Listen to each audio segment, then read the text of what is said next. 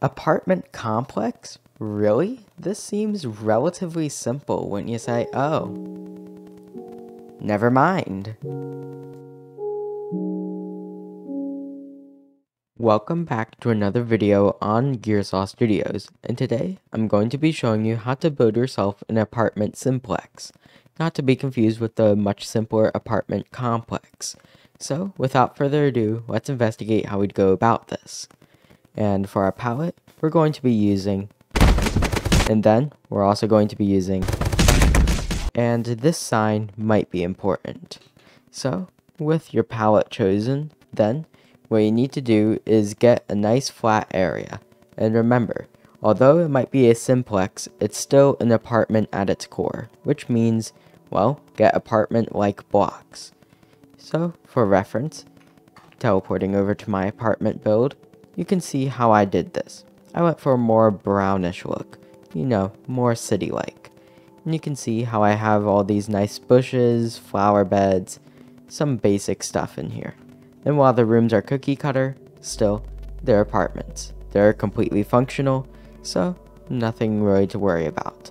So, with this in mind, think about how you want your rooms for the simplex to be, because of course, it's significantly more complex than a complex. With your basic idea now in place, start by placing one building on the ground, not a whole apartment complex, one apartment room or it doesn't even have to be that. But you should place something simple on the ground that looks like the rest of your structure.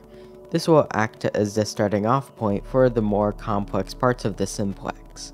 So bring yourself in a nice simple room. And here's the thing, although this is a joke video, this actually has real applications because, I mean you've already seen the intro even though I haven't yet because I'm recording this. Well, this is a base really focused around design, and now you can fit just about anything you want because you have a bunch of rooms. So, a bunch of complex staircases makes up the simplex. So, think about that, and then, with that in mind, think about where you want to place your rooms in their haphazard angles. Alright, so we have a very simple room here. It's pretty much an apartment room from my apartment tutorial. Couple changes here and there, but otherwise, it's a pretty basic house thing. The inside is just barrel flooring, because of course, it's a joke tutorial, I'm not going to go too crazy with it. But, here's the thing. With our initial building, what we want to do is add an extension, some way for it to go higher. I recommend using a ladder or staircase.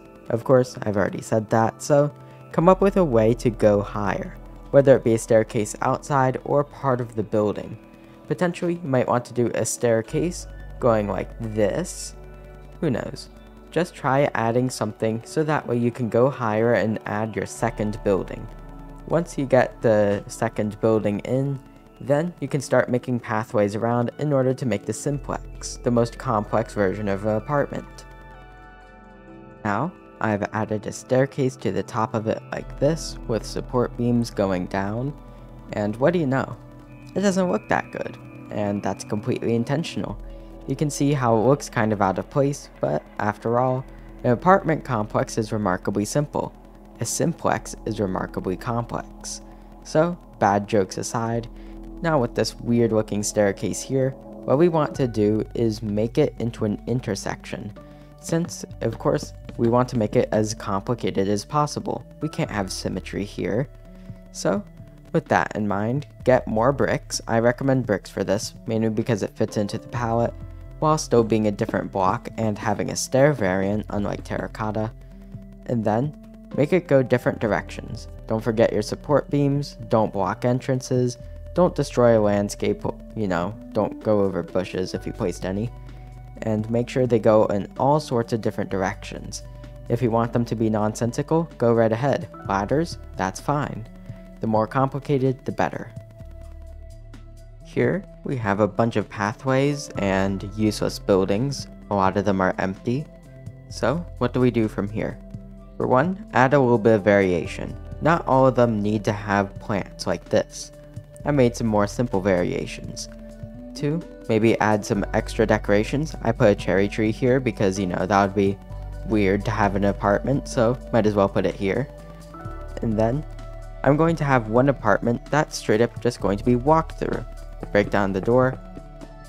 Alright, so I have a bunch of pathways here. Not all of them have support beams yet, but gets the idea across.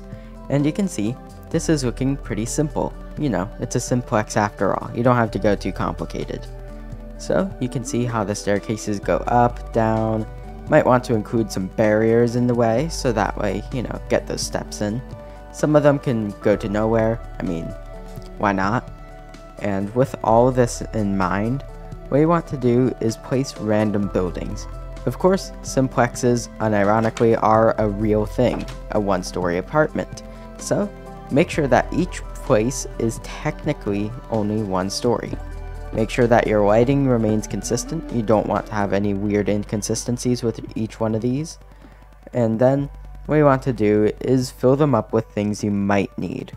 Of course, this is a joke build. I don't care if you make a room filled with chairs and then link it into the comment section below. In fact, please do fill up an apartment with only chairs and post it in the comments. So, with this in mind, build your support beams, build your useless buildings, and then you might want to include apartments inside some of them. Maybe some of them can be actually livable. Maybe some of them could have a balcony. Who knows? But make sure they're varied, because otherwise it might become a little too simple, kind of like a complex. With some added goofy support beams, you can see how this place is becoming a bit more complex. Well, making it a simplex.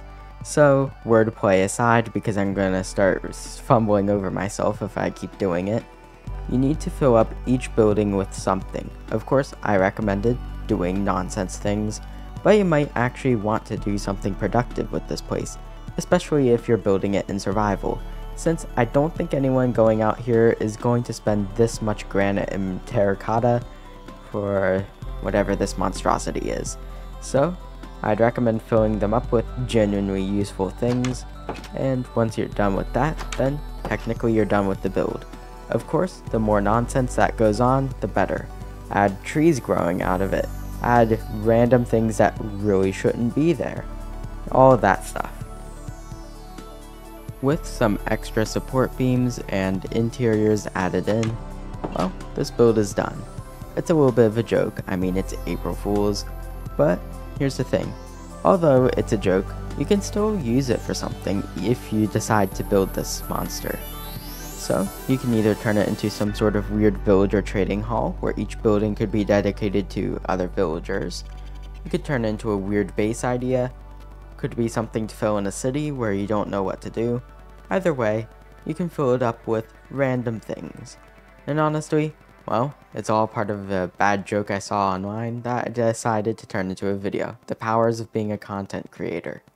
So, if you're interested, you can go ahead and build this. But otherwise, it's more of a joke and it's a little odd if you ever want to build this. But I will say, make sure that your supports properly go into the ground, even if they're a bit nonsensical. And, you know, just use it for something. Don't leave it completely empty, because it's not the cheapest build to do. But, anyways, this is a nice little build you might want to do. And notably, it seems like the sign that powers all of Gearsaw Studios has uh, stopped working. Alright, I knew I wasted all the budget on building those roads, so I'm going to have to cut it here. And with that, it's the end of today's video. If you enjoyed this video, remember, please like and subscribe. It really helps me out. Either way, enjoy the rest of your day. Gearsaw out.